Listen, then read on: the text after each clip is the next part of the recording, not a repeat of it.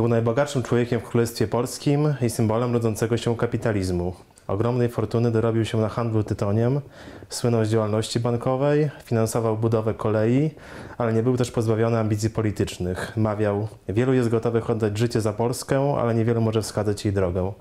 Mowa o Leopoldzie Kronenbergu, urodzonym w 1812 roku, zmarłym w 1878 roku. Panie profesorze, nie można powiedzieć, że e, kariera Kronenberga była e, karierą od przysłowiowego pucybuta do milionera, bo e, spory majątek, zdaje się, odziedziczył już po ojcu.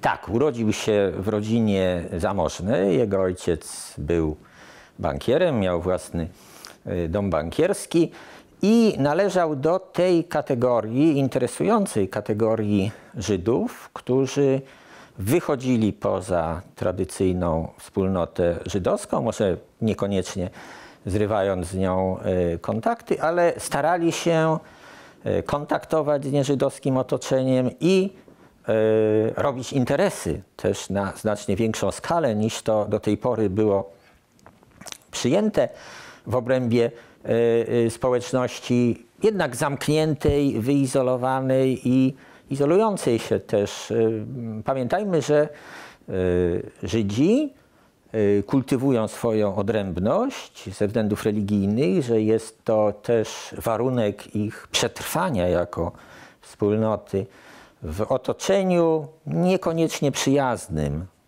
a czasem wrogim. E, ale e, wiek XVIII to jest okres, w którym pojawiają się tendencje, tendencje oświeceniowe.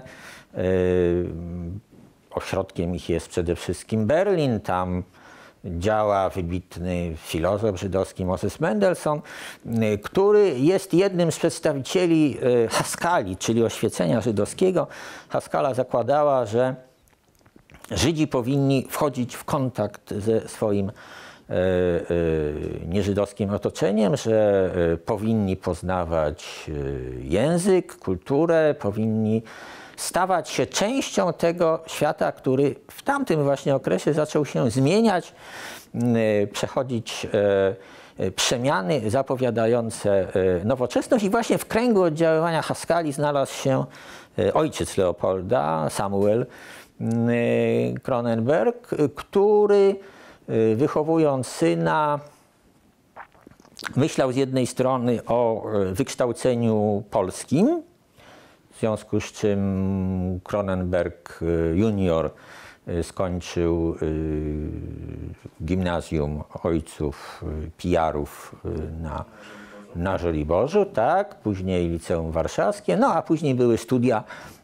najpierw nauka w szkole w Hamburgu, potem studia na Uniwersytecie Berlińskim, czyli uczelni bardzo renomowanej, uchodzącej za najlepszy chyba w tym czasie Uniwersytet Niemiecki, być może najlepszy mm, w Europie. No i w 1832 roku powrót do Polski i tutaj zaczyna Kronenberg e, e, swoją karierę, Kronenberg młody, swoją karierę biznesową. W 1845 roku wchodzi w związek małżeński z e, Żydówką z, e, z zasymilowanej rodziny, która e, wcześniej przejęła wyznanie luterańskie i sam przyjmuje wyznanie żony. Skąd ta decyzja? Czy osoba pochodzenia wyznania mojżeszowego E, miała utrudnioną, utrudnioną drogą w robieniu interesów w Królestwie Polskim? No tak, to jest y, ogromny problem. Y, sytuacja Żydów w tamtym okresie, nie tylko y, w, na terenie Królestwa Polskiego, ale w Europie w ogólności. Żydzi, tradycyjnie rzecz biorąc, jeśli spojrzymy na Rzeczpospolitą, stanowią grupę odrębną. Są dyskusje wśród historyków, czy stanowią stan, tak jak szlachta czy chłopi, czy też nie, ale to nie jest może najistotniejsze w tym momencie. W każdym razie są, mają odrębny status, e, są w jakimś stopniu dyskryminowani. Na czym ta dyskryminacja polegała? No, są ograniczenia dotyczące zajęć, są ograniczenia dotyczące yy, zamieszkiwania. Na przykład nie mogą zamieszkiwać w wielu miastach. Te miasta mają yy, przywileje yy, o tak zwanym nietolerowaniu Żydów. Yy, są yy, obciążeni specjalnymi podatkami, nie mają praw politycznych. To jest duża doza dyskryminacji, ale też trzeba powiedzieć, że to jest społeczeństwo dość brutalne. To nie jest społeczeństwo sprawiedliwe według naszych dzisiejszych norm. Chłopi też są przecież w bardzo trudnym położeniu. E, e, jakoś się w tych warunkach e, musi, musi przecież żyć. Proces emancypacji, przynajmniej formalnej emancypacji Żydów, zaczyna się no, na zachodzie to, jest, y, to, są czasy, to, są, to są czasy dawniejsze, to jest na pewno rewolucja francuska. Y, W Prusach zaczyna się to w okresie napoleońskim. Mamy tak zwane reformy Steina Hardenberga, to jest edykt królewski dotyczący Żydów z 1812 roku. Y, I dokończy się ten proces właściwie dopiero po utworzeniu Rzeszy Niemieckiej. Takie ostatnie już y, posunięcia prawne to jest rok 69, 71. W Austrii y, to jest okres wiosny ludów y, i też ostatnie decyzje prawne dotyczące Żydów to jest liberalizacja, przekształcenie monarchii w Austro-Węgry i nadanie liberalnej konstytucji, rok y, y, 67.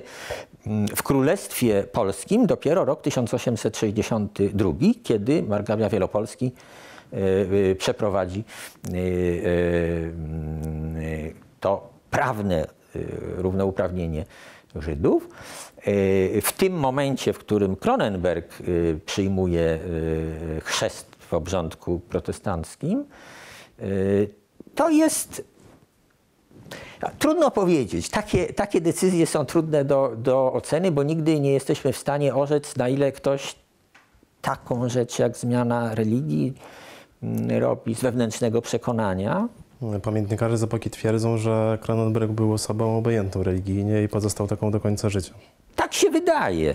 Więc jeśli nie wchodziły tutaj w grę jakieś e, wewnętrzne motywy e, religijne, e, to na pewno kwestie praktyczne. No, y, przyjęcie chrztu otwierało zupełnie nowe perspektywy życiowe, biznesowe, towarzyskie, polityczne.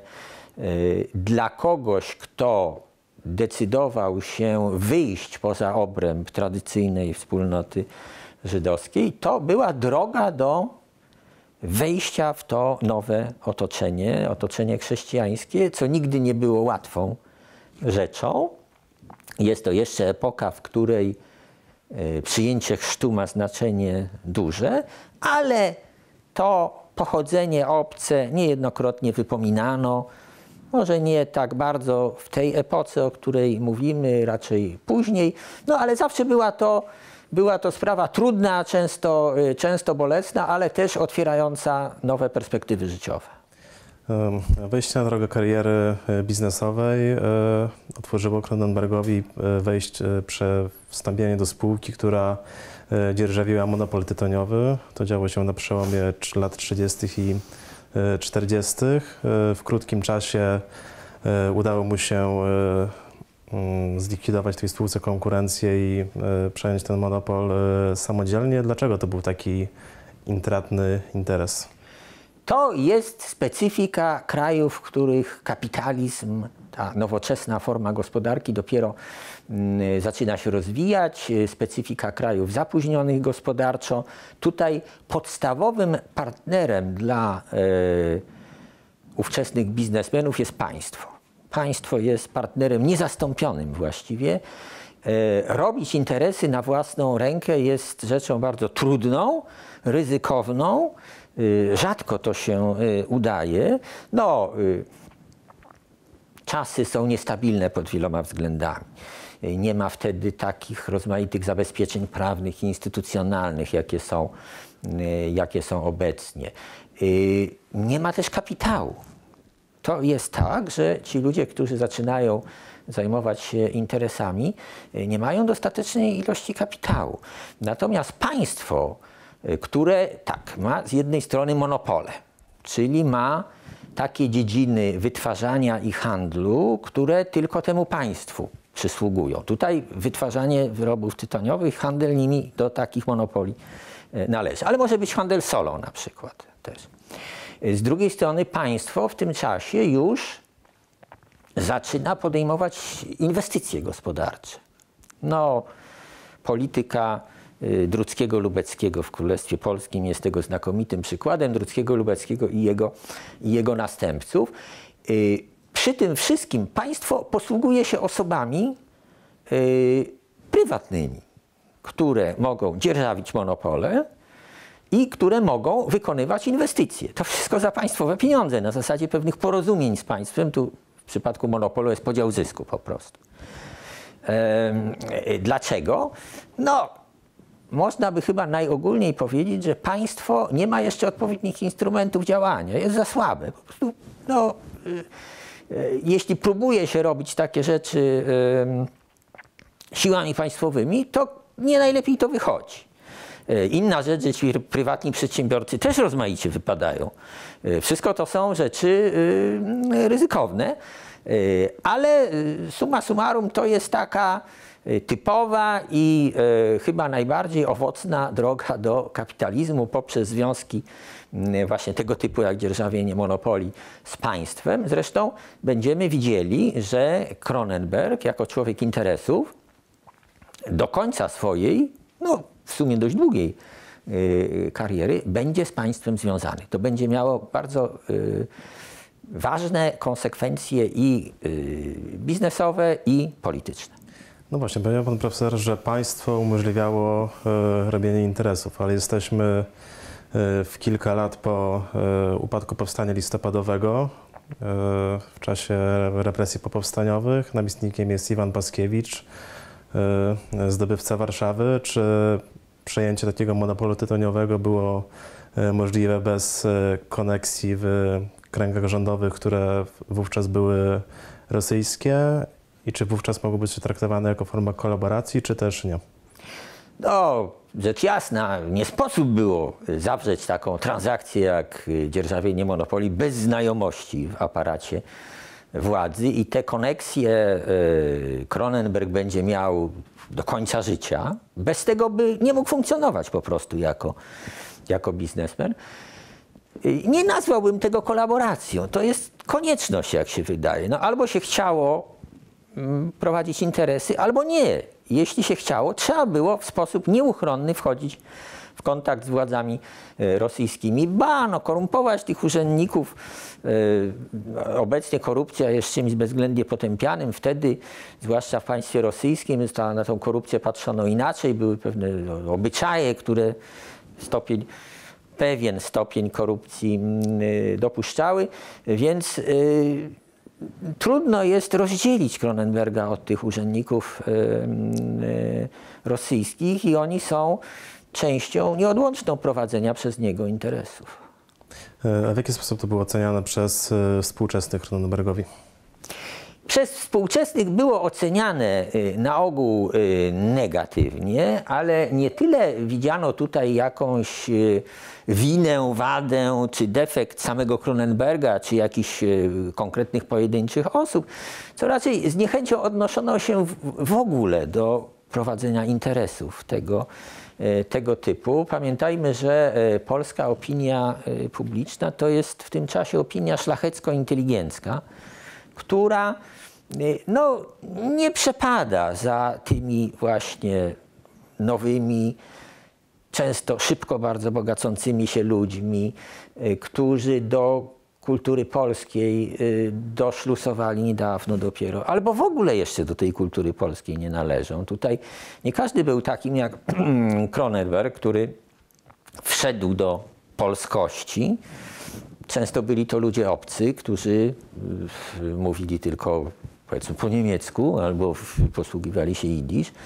No i e, e, nie budzili szczególnej, szczególnej sympatii. Samo zajmowanie się interesami w takim kapitalistycznym tego słowa znaczeniu nie budziło, nie budziło sympatii, więc e, no, nie byli to ludzie popularni na ogół. Że jesteśmy w epoce, kiedy e, ziemiaństwo i szlachta ustępuje miejsca rodzącej się burżuazji. Kronenberg jest e, jej chyba jednym z najbardziej znanych wówczas przedstawicieli. Y, na pewno, y, tym bardziej, że y,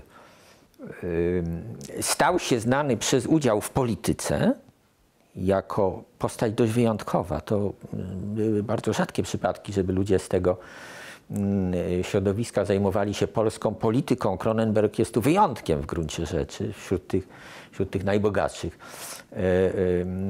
przynajmniej. No, Kiedy ta działalność polityczna Kronenberga się zaczęła? E, to jest koniec lat 50.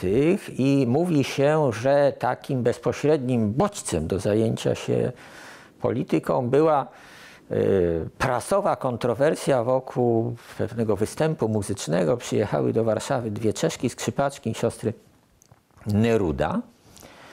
I jedna e, z gazet stołecznych, Gazeta Warszawska, zarzuciła w krótkim czasie po tym występie. Ten występ to był chyba w grudniu 50, 1858 roku. Jedna z gazet zarzuciła publiczności, znaczy zarzuciła Żydom, że nie poszli na ten koncert. A że skoro e, nie były to Żydówki, to Żydów to nie obchodziło, nie chcieli tego słuchać, a tam te dwie panie wykonywały czeską muzykę narodową, więc miało to taki wydźwięk patriotyczny. Również i zaczęła się polemika prasowa bardzo gwałtowna. W końcu doszło do różnych działań sądowych, wyroków za obrazę. Jeden z uczestników tej polemiki zmarł, być może pod wpływem stresu związanego z tą, z tą awanturą i mówi się, że Kronenberg wtedy zdecydował się wystąpić na arenie publicznej i nabył gazetę codzienną, tak to się nazywało, Gazeta Codzienna, a jej redaktorem e, naczelnym mianował Józefa Ignacego Kraszewskiego i było to wydarzenie sensacyjne po prostu. No tak, bo Kraszewski niezwykle poczytny pisarz, a też postać wówczas kontrowersyjna, bo ziemianin, który E, opowiada się za e, oczęszczowaniem chłopów, za likwidacją pańszczyzny i skonfliktowany z, ze swoim własnym macierzystym środowiskiem. No, to jest jedna strona, ale przecież e, Kraszewski kilka lat wcześniej opublikował powieść, która sporo szumu wywołała wtedy na ziemiach polskich, się nazywało Choroby wieku w której skrytykował bardzo gwałtownie właśnie te nowe metody gospodarowania, tego ducha biznesu, chciwość, kult cielca złotego, tych y, ziemian, którzy porzucają tradycję i przechodzą właśnie na ten kapitalistyczny sposób, sposób gospodarowania, uważał, że to jest upadek, upadek polskości. I teraz ten yy, Kraszewski staje się redaktorem gazety, w której Kronenberg zaczyna propagować właśnie zasady liberalne, nowoczesność, kapitalizm, oczywiście w duchu umiarkowanym bardzo, ale jednak y, dla Kraszewskiego była to, y, y, przynajmniej z punktu widzenia polskiego obserwatora, była to gwałtowna zmiana frontu. E, co to wówczas znaczy liberalizm i nowoczesność? Ha, e, liberalizm myślę, że kojarzył się wtedy przede wszystkim z jakimiś w warunkach rosyjskiego panowania bardzo ostrożnie y, wyrażanymi tendencjami wolnościowymi. Pamiętajmy, że w Rosji mamy wtedy do czynienia z, y, z rodzajem odwilży politycznej. W 855 roku na tron wszedł nowy car, Aleksander II, który mm, zaczął kampanię reformowania Imperium Rosyjskiego. E, e, no, zelżała cenzura bardzo silna e, za czasów Mikołaja I i, i Paskiewicza. Jakiś taki nowy powiew się pojawił w Imperium Rosyjskim i te takie ostrożnie wyrażane tendencje wolnościowe, bardzo umiarkowane, powtarzam, można było, można było y, propagować. Nowoczesność myślę, że się w bardzo dużym stopniu wiązała z kapitalizmem i z tymi nowymi metodami y, gospodarowania, gdzie w grę wchodziła kalkulacja, y, podwójna rachunkowość się upowszechnia wtedy folwark ziemiański w tym nowym ujęciu miał się stać przedsiębiorstwem. Przedsiębiorstwem kapitalistycznym obliczonym na zysk, a nie takim tradycyjnym e, feudalnym majątkiem, w którym się gospodarowało zgodnie z, tam, z rutyną, z, z, pewną, z pewną tradycją, zwyczajami przyjętymi przez pokolenia. No ale to nie była rzecz łatwa. Polskie ziemiaństwo miało z tym sporo, sporo kłopotów. I tutaj Kronenberg do spółki z Kraszewskim zaczęli przeprowadzać taką właśnie kampanię przekonywania y, opinii ziemiańskiej czy ziemiańsko-inteligenckiej do tego ducha nowoczesności. Y, no przede wszystkim chyba tego nowego sposobu y, podchodzenia do spraw ekonomicznych. E, powiedział pan profesor, że folwark miał być e, przedsiębiorstwem kapitalistycznym, e, a co z chłopami? Jaką rolę dla nich widziała Gazeta Codzienna i publicystyka? No tutaj od razu się pojawia problem uwłaszczenia chłopów, czyli nadania im na własność ziemi, którą uprawiali. No, tradycyjnie rzecz biorąc, chłopi uprawiali ziemię pańską, mieli działki wydzielone dla siebie, z, ale które były własnością pana, za to, że mogli użytkować te grunta, pracowali dla pana w formie pańszczyzny właśnie, na gruntach należących bezpośrednio do, y, do dziedzica, albo płacili czynsz. No teraz pojawia się problem y, radykalnej reformy y, agrarnej, czyli nadania chłopom własności użytkowanej przez nich ziemi i odszkodowania odpowiedniego dla, dla panów. Już się dokonywa, dokonała taka reforma w zaborze pruskim, rozciągnięta na długie lata, od tam epoki napoleońskiej po wiosnę ludów. E, już się dokonała gwałtowna reforma w, w, w czasie wiosny ludów w roku 1948 w monarchii habsburskiej e, i Y, teraz y, y, no, zastanawiano się nad tym, jakiego typu reformy należałoby mm, przeprowadzić. Wśród ziemiaństwa najpopularniejsza była idea no, takiego ogólnego oczęszowania. No, jednak perspektywa nadania chłopom ziemi na własność dla ziemiaństwa była trudna do, do przyjęcia. To, to była decyzja kłopotliwa dla ziemiaństwa ze względów gospodarczych, bo trzeba było zrezygnować z tej darmowej robocizny chłopskiej i zastanowić się nad prowadzeniem e, gospodarstwa własnego przy użyciu no, płatnych robotników rolnych. To nie było takie.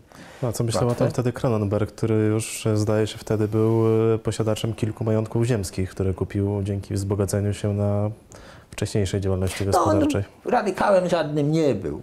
To, to yy, hasło uwłaszczenia chłopów to jest wtedy w Polsce hasło radykałów. Natomiast Kronenberg był bardzo bliski yy, w poglądach yy, politycznych margrabiemu wielopolskiemu, który, jak wiadomo, yy, był zwolennikiem właśnie takiej yy, umiarkowanej nowoczesności. To znaczy te jego posunięcia wtedy, kiedy kierował rządem cywilnym w królestwie, to, są, to jest emancypacja Żydów, to jest polska edukacja i to jest reforma czynszowa. To, to, to jest ta granica, mm, której nie przekraczano wtedy jeśli idzie o te środowiska ziemiańsko-arystokratyczne. Można powiedzieć, że Kronenberg czynnie wchodzi do polityki w 1861 roku, kiedy po demonstracjach narodowych, kiedy, kiedy Polacy warszawiacy domagają się przywrócenia samorządu i upodmiotowienia E, na, na, narodu polskiego w, w nadanie, nadanie mu praw politycznych, który, który został pozbawiony po e, powstaniu e, listopadowym. Na ulicach padają ofiary. Jest kwestia no, opanowania tego żywiołu, który wówczas się tworzy i Kronenberg wchodzi do delegacji miejskiej, która E, której celem jest e, zaniesienie e, adresu do cara właśnie z postulatami reform, o których pan profesor mówił. Czy to wówczas wiązały się z jakimś ryzykiem, czy też, e, czy też nie dla Kronenberga? No, pytanie jest e, przede wszystkim e, na samym początku, e, dlaczego Kronenberg właściwie wchodzi do tej polskiej polityki? Jest to decyzja wyjątkowa właściwie. Jego wielki rywal w interesach, czyli Jan Bloch, podobnie pochodzenia żydowskiego, podobnie zasymilowany, podobnie wielki, wielki kapitalista wcale się do polityki nie garnął, chociaż był człowiekiem wykształconym, autorem wysoko e, cenionych prac, więc tutaj decyzja Kronenberga może się wydawać zaskakująca, tym bardziej, że były to działania ryzykowne jednak. To znaczy, można się było władzy rosyjskiej narazić. A e, jak e, mówiliśmy sobie tutaj, od tej władzy e, biznesowo taki człowiek jak Kronenberg był bardzo uzależniony. No, można tutaj domniemywać, o co mu chodziło. O pierwszy etap tego angażowania w politykę, no to jest właśnie gazeta codzienna, którą w 1861 roku nazwie Gazetą Polską, co uznawano za rodzaj demonstracji mm, politycznej. Ja myślę, że był człowiekiem bardzo ambitnym. E, e, nawet jeśli się jest e, człowiekiem prowadzącym wielkie interesy, tak jak to robił Bloch, nawet jeśli się ma ambicje intelektualne, chce się być autorem, chce się być postacią znaną, to nie musi to oznaczać decyzji, e, ambicji politycznych i takich właśnie ryzykownych decyzji związanych z tymi, z tymi ambicjami. Mi się wydaje, że Cronenberg był bardzo ambitny, że chciał być częścią polskiej elity, że uważał, że może być częścią tej polskiej elity. No, w polityce właśnie zawsze jest tak, że osobiste ambicje wiążą się z jakimś szerszym spojrzeniem na sprawy kraju, na sprawy państwa. Nawet nie ma co tego rozdzielać za bardzo, prawda? Bo ktoś może powiedzieć, kiedy ja będę rządził, kiedy ja będę miał udział we władzy, to ja to dobrze wszystko zorganizuję. Naturalna, naturalna rzecz. Więc wydaje mi się, że tutaj te ambicje, mm, ambicje mm, Kronenberga polityczne, które się ujawniły w 60 pierwszym roku, że one były związane z poczuciem, jak sądzę, autentycznym zupełnie, że on może coś krajowi zaoferować, że on przedstawi program lepszy od tego, co, mm, y, co oferują y, inni. W związku z tym, kiedy w lutym 1961 roku mamy demonstrację na Placu Zamkowym, kiedy wojsko zaczyna strzelać do tłumu, pada pięć ofiar, jest demonstracyjny pogrzeb tych ludzi, powstaje delegacja miejska jako reprezentacja społeczeństwa Warszawy składająca się z osób wpływowych i no właśnie takich, które mówią za innych, to się wśród tych ludzi znajdzie, znajdzie Kronenberg i on od tej pory będzie odgrywał bardzo istotną rolę w politycznym obozie umiarkowanych, w tym białym skrzydle ruchu narodowego znajdzie się w kierownictwie tego, y, tego ruchu. Na przełomie 61 i 62 roku powstaje ciało e, kierownicze białych, które najpierw się nazywa delegacją, potem dyrekcją. Składa się z kilku osób y, i to są właściwie poza Kronenbergiem sami ziemianie. E, y, no i Kronenberg staje się w tym momencie postacią wpływową politycznie. On y, jest y, w kontakcie z Andrzejem Zamojskim, hrabią Zamojskim, który jest no, taką ikoną ruchu białych. Jest człowiekiem o wielkim autorytecie. Kiedy zostanie z, z królestwa usunięty decyzją, decyzją cara, no to Kronenberg w pewnym sensie będzie kontynuował ten kurs ten kurs polityczny, aż do lata 1863 roku, kiedy prawie dokładnie w tym momencie, w którym kilka dni różnicy jest tutaj, w którym wyjeżdża e, z Królestwa Margrabia e, Wielopolski, no on wtedy wyjeżdża, zmuszony zostaje wyjechać za granicę. Cofnijmy się na chwilę wcześniej, w tej sytuacji przed powstaniem styczniowym. Mamy obóz białych, e, który powiada się za, mm, za pracą organiczną i sprzeciwia się wywołaniu powstania.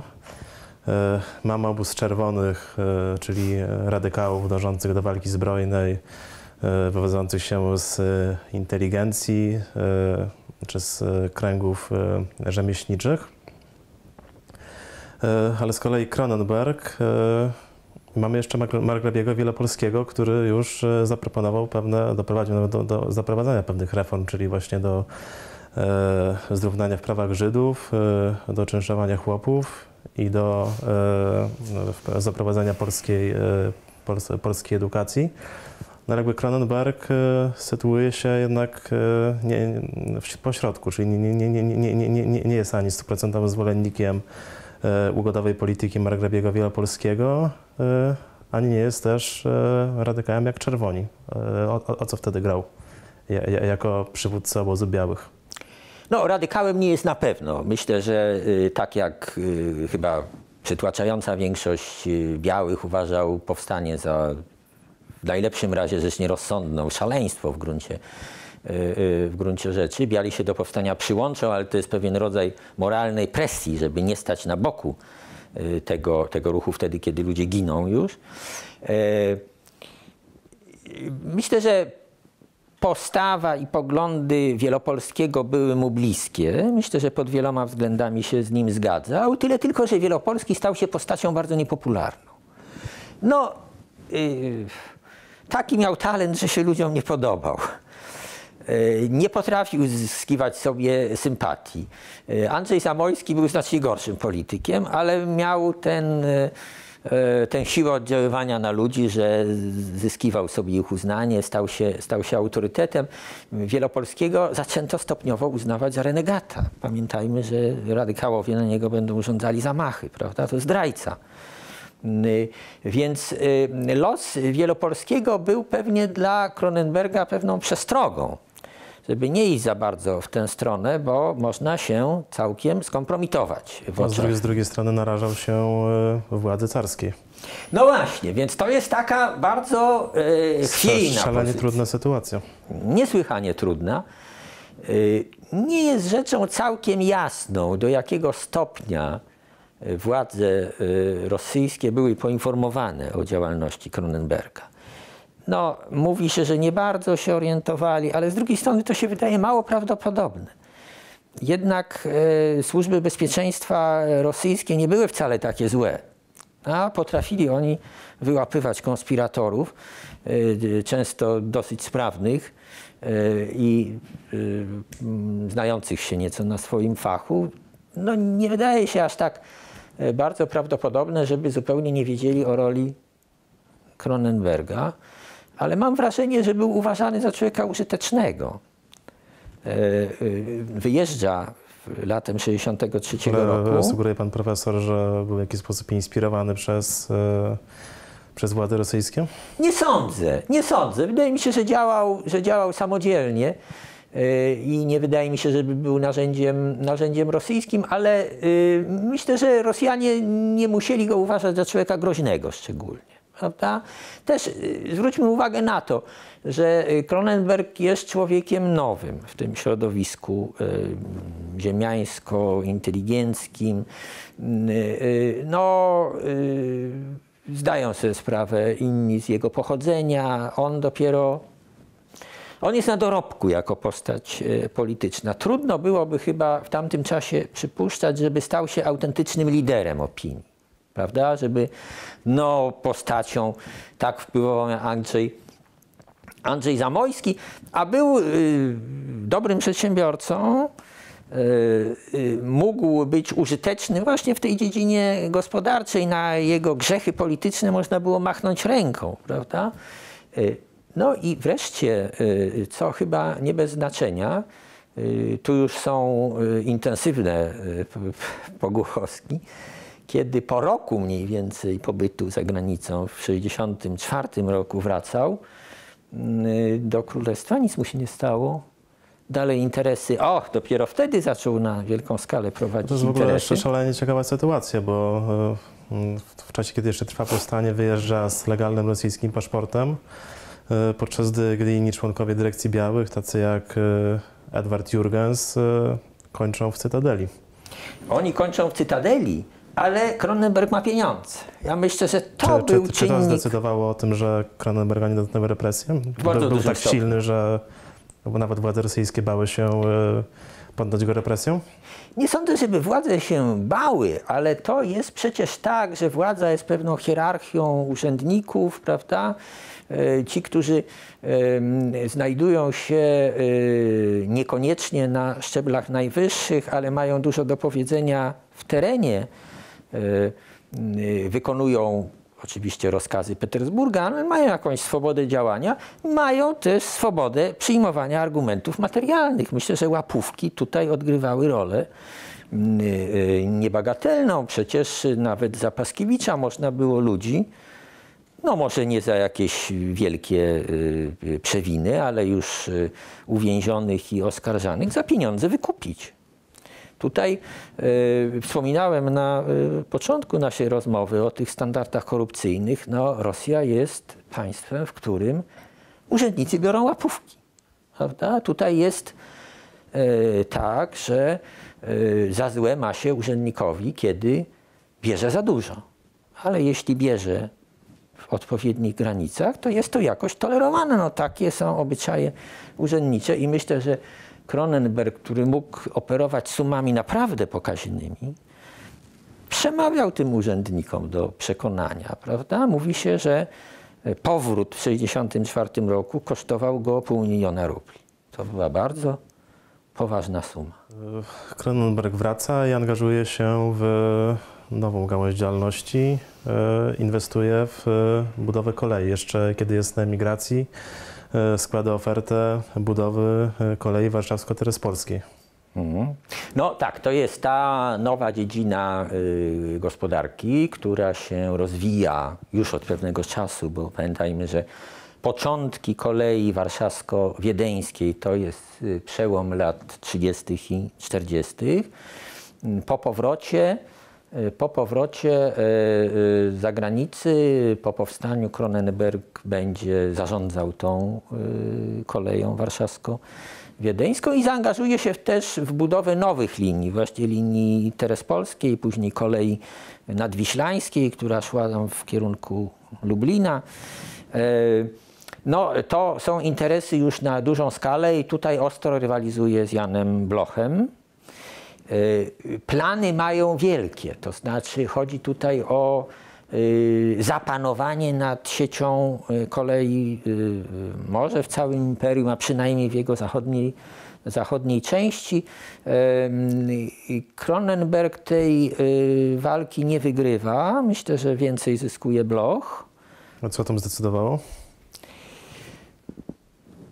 Trudno powiedzieć. Jest e, taka relacja, w której minister spraw, e, w której minister finansów e, imperium mówi synowi Kronenberga, który został wysłany przez ojca do, na negocjacje w Petersburgu, mówi proszę nie przeszkadzać Blochowi. No, dwie są możliwości, przynajmniej dwie. To znaczy, z jednej strony, może jednak te y, wcześniejsze ambicje polityczne Kronenberga przypomniano sobie i pomyślano, że a, nie jest to taki pewny człowiek, jak Prawda, że Coca-Cola jest e, strategiczną inwestycją. Rosjanie byli bardzo uczuleni na tym punkcie, prawda? W ogóle sama decyzja o y, rozbudowie sieci kolejowej w imperium nie była decyzją łatwą, bo sam Mikołaj I uważał, że kolei nie należy budować, że najkrócej mówiąc wrogowie wjadą do imperium koleją. Y, Jak jej nie będzie, no to się zagubią na tych bezdrożach, jak armia y, Napoleona.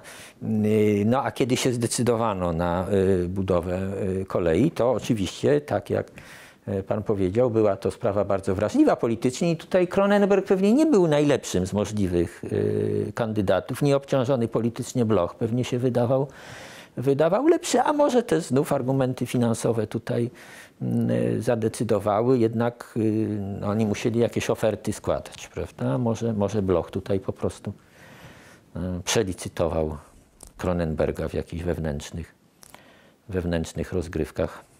E, Nie powiedzieliśmy jeszcze o działalności bankierskiej Kronenberga, e, z której również słynął.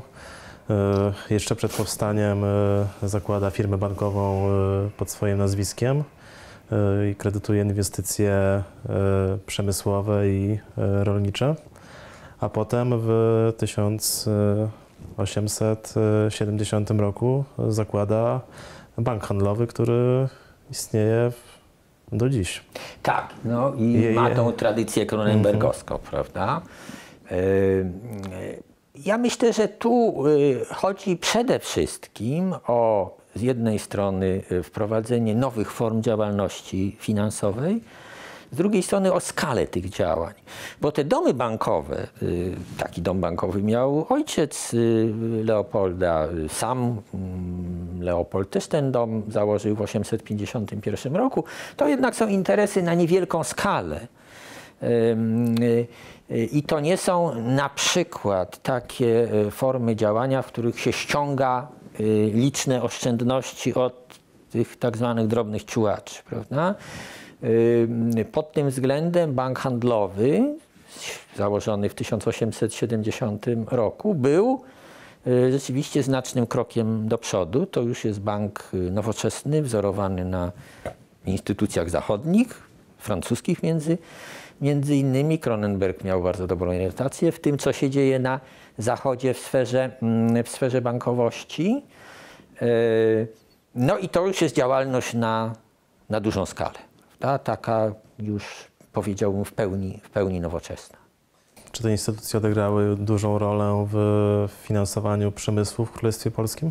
No tak, to już, jest, y, to już są banki, które mogą działalność inwestycyjną prowadzić bardzo, y, y, bardzo solidną i właśnie dopiero w tym okresie Kronenberg wychodzi na szerokie wody jako taki nowoczesny bankier związany z działalnością działalnością przemysłową. E, okresu życia e, współzakłada też e, szkołę główną, która w późniejszych latach przekształci się w obecną szkołę główną handlową. Skąd pomysł na taką, na taką działalność? No, to jest szkoła handlowa, tak to się nazywa, założona w 875 roku. E, no, e, w ówczesnej e, publicystyce, w różnych prasowych wymianach opinii zwracano uwagę na to, że w Polsce ludzi kształci się w sposób niewłaściwy, że wychowuje się inteligentów, którzy potem nie mają żadnych kompetencji fachowych użytecznych, takich właśnie, y, które przydałyby się gospodarce. Y, I myślę, że to miał Kronenberg na uwadze. Pamiętajmy, że to jest okres, w którym działają już pozytywiści warszawscy. Pozytywiści warszawscy byli bardzo uwrażliwieni na tym punkcie, żeby nie mnożyć tego inteligentnego proletariatu, jak wtedy mówiono, czyli takich ludzi, którzy są co prawda wykształceni, ale żadnego konkretnego pożytku z tego wykształcenia e, nie mają, a w każdym razie bardzo trudno im jest jakieś, e, jakieś, jakieś zajęcie sensowne, sensowne znaleźć i myślę, że Cronenberg próbował sobie jakoś poradzić z tym problemem. Stworzył trzyklasową szkołę, która formalnie była szkołą średnią, ale miała poziom wysoki. No taki pół, półwyższa szkoła, można by powiedzieć, realnie. Realnie rzecz biorąc, na założenie szkoły wyższej, y, no żadnej tutaj y, perspektywy nie było. Władze na pewno by się na to, władze się na to nie zgadzały po prostu. Y, no i oblicza się, że jakieś 600 osób tę szkołę ukończyło. Szkoła istniała do mniej więcej 1900 roku, 1901, e, bodajże w, w stałych kłopotach z władzami rosyjskimi, którym ona się nie, nie podobała. No jednak e, szkolnictwo e, dla Polaków, choć oczywiście język nauczania był w niej rosyjski, to jednak było to szkolnictwo dla Polaków. Tym, tym władze rosyjskie zainteresowane nie były, patrzyły na to niezbyt, Y, y, niezbyt chętnie. Tu cały czas przez biografię Cronenberga się y, przewija taki motyw kontaktu, takiego wymuszonego i nieprzyjaznego w gruncie rzeczy kontaktu z państwem rosyjskim, bo myśmy tu mówili sobie o tym, że on wchodzi w te relacje, ale to są relacje przymusowe I to są relacje, w których ktoś taki jak Cronenberg, który reprezentuje już stronę polską wyraźnie, nie jest dobrze, nie jest dobrze traktowany.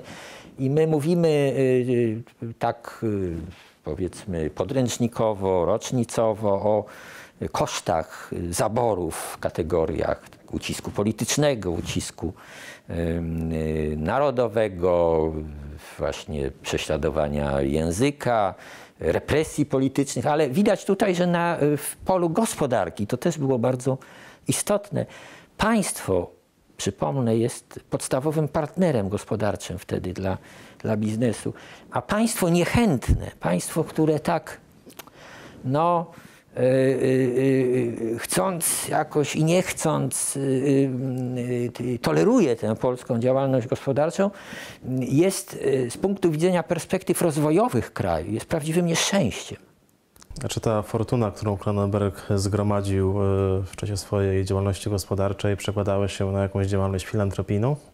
No, był filantropem, y, uczestniczył w różnych y, y, filantropijnych przedsięwzięciach. No, sama szkoła handlowa nie była przedsięwzięciem dochodowym, prawda?